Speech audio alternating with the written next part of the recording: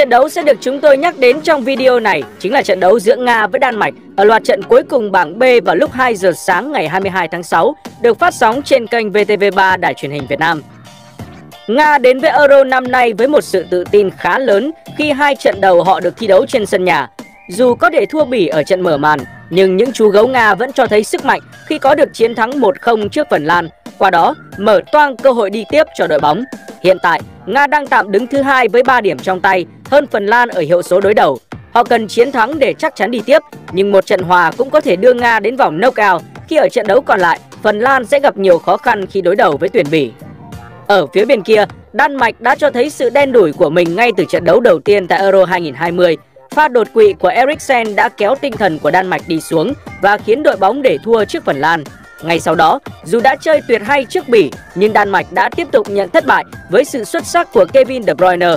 Sau hai trận đấu, Đan Mạch vẫn chưa giành được điểm nào và đang đứng rất gần với khả năng bị loại ngay vòng bảng. Dù vậy, vẫn còn chút hy vọng cho Đan Mạch nếu có thể giành chiến thắng ở trận đấu tới. Họ sẽ có thể vươn lên vị trí thứ hai nếu Bỉ có chiến thắng đậm trước Phần Lan. Trong lịch sử, hai đội mới chỉ gặp nhau duy nhất một trận giao hữu với chiến thắng 2-0 nghiêng về phía Nga. Hiện tại, với phong độ có phần nhỉnh hơn, chuyên gia tin tưởng Nga sẽ là đội giành chiến thắng. Đội hình dự kiến Nga gặp Đan Mạch Nga Đan Mạch Với kèo tài xỉu trong trận đấu này, hàng công của Đan Mạch và Nga đều không được đánh giá quá cao khi cả hai mới chỉ ghi được đúng một bàn sau hai trận. Chính vì vậy, chuyên gia nhận định trận đấu này sẽ không có nhiều bàn thắng được ghi. Vì thế lựa chọn xỉu sẽ là lựa chọn an toàn cho các nhà đầu tư.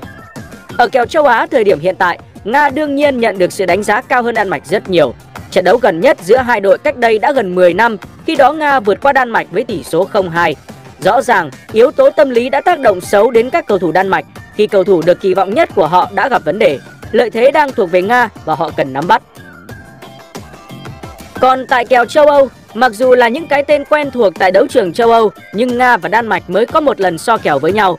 Đó cũng chính là trong khuôn khổ giao hữu đầu năm nay, đội khách đã không thể công phá được hàng phòng ngự của đối phương và phải vào lưới nhặt bóng hai lần.